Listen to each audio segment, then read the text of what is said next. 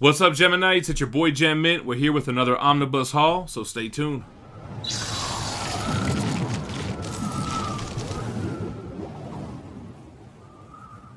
Alright guys, before we get started, make sure you go ahead and grab that subscribe button down below and hit the notification bell so you're made aware every time we release new videos.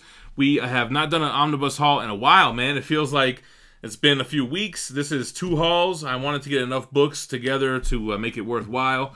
Let's jump right into it. The first book is The Transformers, The World in Your Eyes, Deluxe Edition, Volume 1. Um, it, I got this because I thought it was going to be more in vein of like the Phase 1 and Phase 2 IDW books and I understand it's the first 12 issues of like the ongoing series, but I don't know. It kind of doesn't feel like the other deluxe editions. But I mean, it has a ribbon in it. It's um, the modern run. I figured I'd give it a shot. $50 cover price. Let's take a look at the artwork. All right, so I don't know why I was disappointed with the construction of the book. I guess maybe because it, I don't know, it has like a weird kind of plasticky feel. I don't know. Transformers: The World in Your Eyes, Volume One. That doesn't mean that the content isn't good. So I don't know why I'm literally judging a book by its cover. But here's the front, spine, and the back. Let's take a look at the artwork here.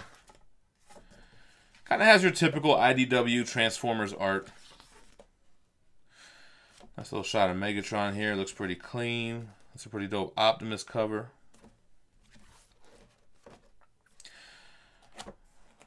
Got the ribbon here for the built-in bookmark. You gotta love that. Some Optimus Megatron panels. So it looks decent enough. It looks like more of the same. I still got to read phase two, I think, before I even jump into this. Although I hear it's not required reading. But still. Pretty cool.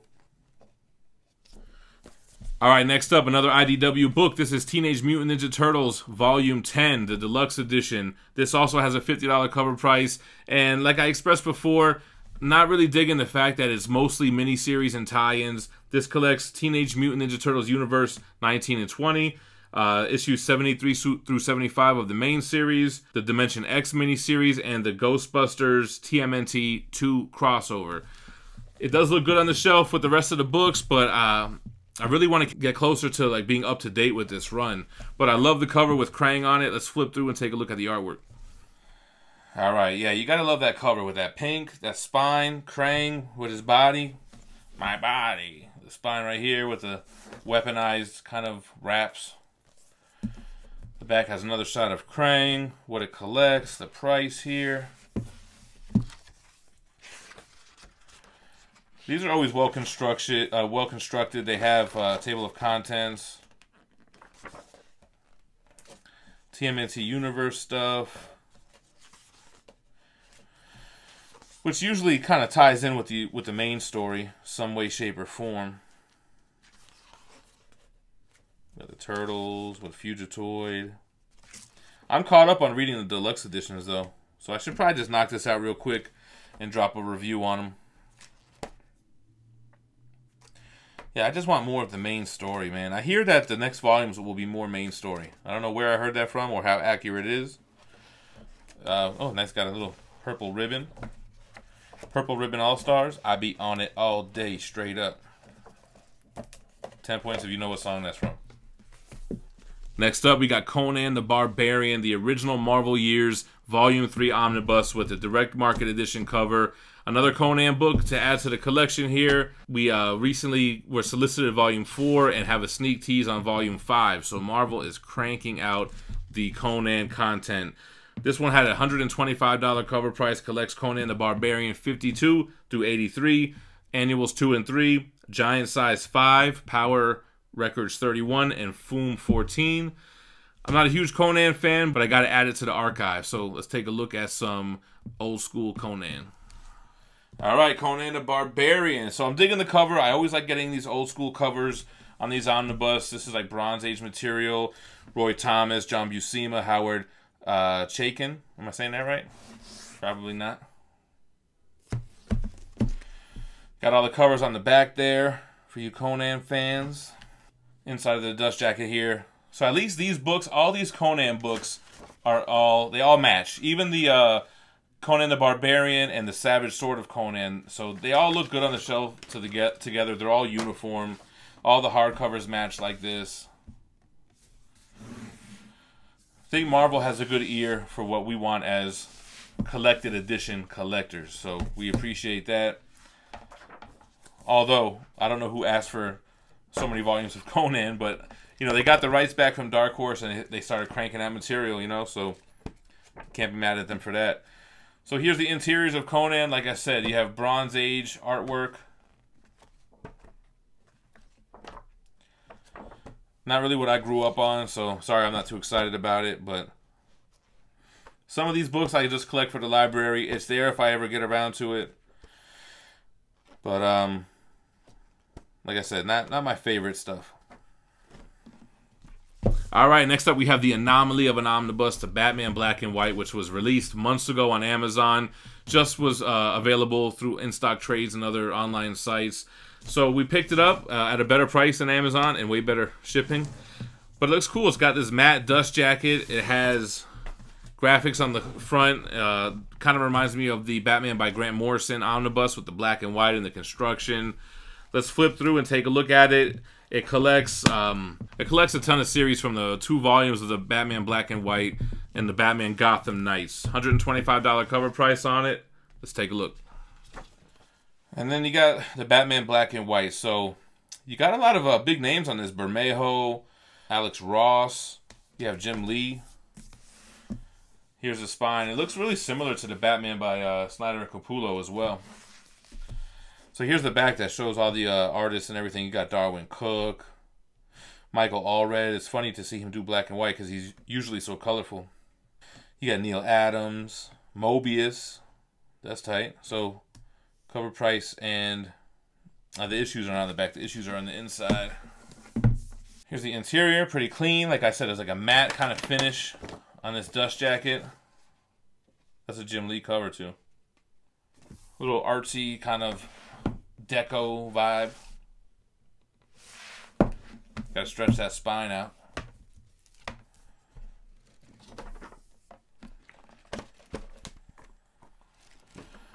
So the only thing I know about black and white are the little statues that they made, and I think they even have those in the back here. All the all the black and white statues. How many do they show? Because there's a ton of them.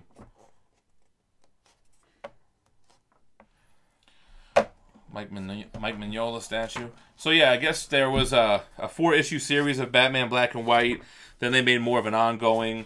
Then they had this Batman Gotham Knights stuff that was all in the same kind of vein.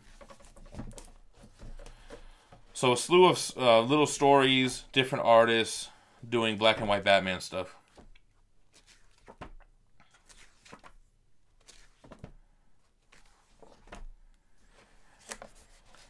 Was a Batman omnibus, had to add it to the collection.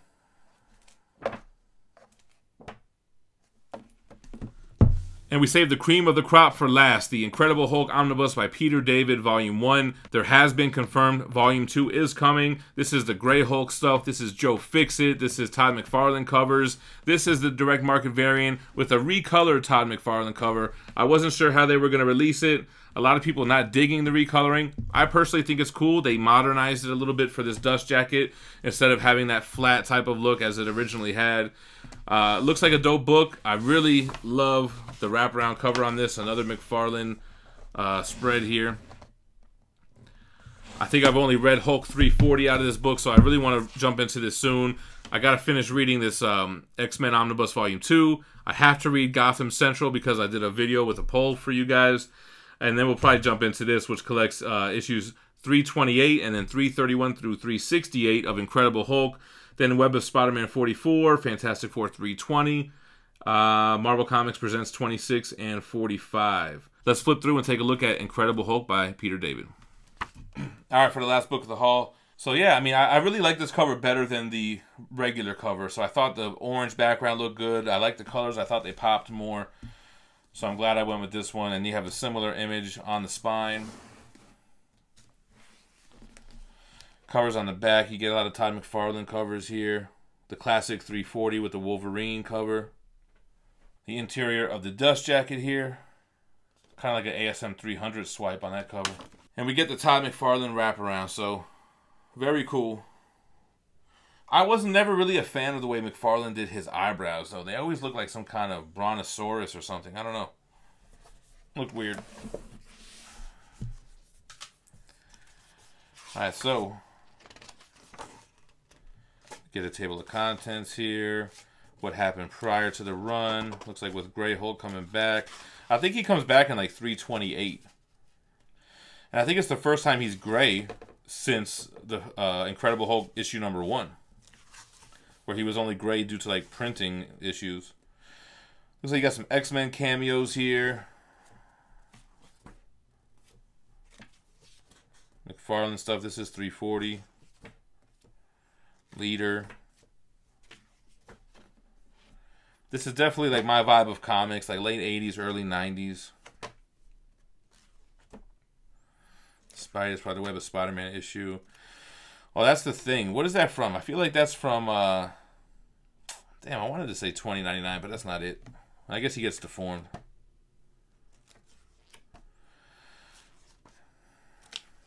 Looks cool.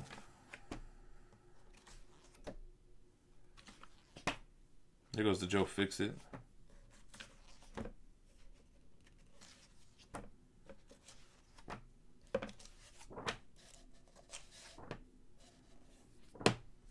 All right, so that's going to wrap up the Omnibus Haul. Thank you guys for checking it out. Make sure you drop a like before you leave and comment below what your favorite book of the haul is. We're currently doing a 50,000 subscriber giveaway, so check out the video above uh, to enter for a chance to win the XM Studios Spider-Man statue. So make sure to check that video out. Make sure you subscribe here, hit the notification bell so you don't miss a video, and stay minty fresh.